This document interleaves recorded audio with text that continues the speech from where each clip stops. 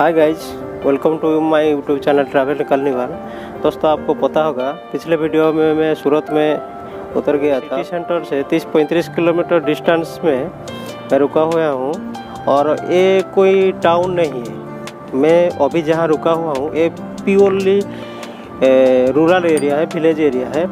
तो आज उसी गाँव का आसपास एक वीकली मार्केट में यानी कि साप्ताहिक बाज़ार बैठता है, मैं उसको कवर करने के लिए जा रहा हूँ। तो देखते हैं कि उधर की क्या क्या सामान आता है और कितने लोग भीड़ होते हैं और कैसा होता है।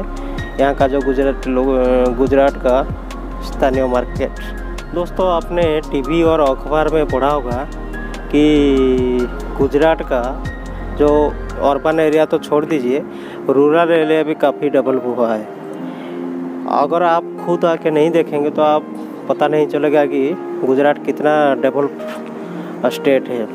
अभी मैं एक बिल्डिंग का टेरेस में खड़ा हूँ और आप पीछे देख सकते हैं, मेरे पीछे देखिए, एक गाँव है, ये टाउन नहीं है, ये कोई शहर नहीं है, ये एक विलेज एरिया है। आप देखिए कितने कितने बिल्डिंग है एक गाँव का सीन है। अब देखिए ज़रा एक गाँव है। और आपको दिखाता हूँ। मेरे पीछे की साइड देखिए। आप देखिए, पीछे के साइड टेक्सटाइल इंडस्ट्री है। और जो काला काला धुआँ निकल रहा है, वो टेक्सटाइल इंडस्ट्री है। मेरा कहने का मतलब यही है कि अगर गाँव में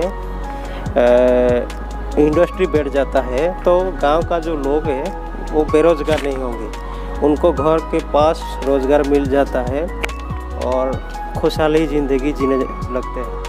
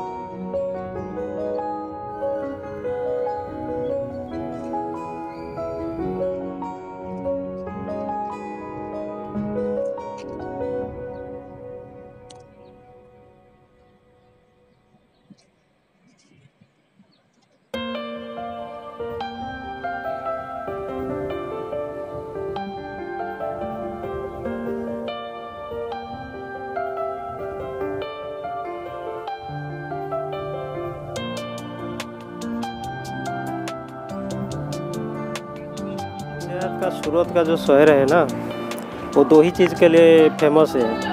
पहला यहाँ का जो डायमंड बिज़नेस है, सूरत में काफ़ी मात्रा में डायमंड बिज़नेस किया जाता है। और दूसरा, यहाँ का टेक्सटाइल मार्केट सूरत इतना बड़ा टेक्सटाइल मार्केट है कि यहाँ का जो टेक्सटाइल का सामान है, सारे इंडिया को एक्सपोर्ट किया जाता है और विदेशों में भी उसका डिमांड काफ़ी है। काफ़ी सारा फॉरेन कंट्री यहाँ से एक्सपोर्ट करते हैं अपना टेक्सटाइल सामान।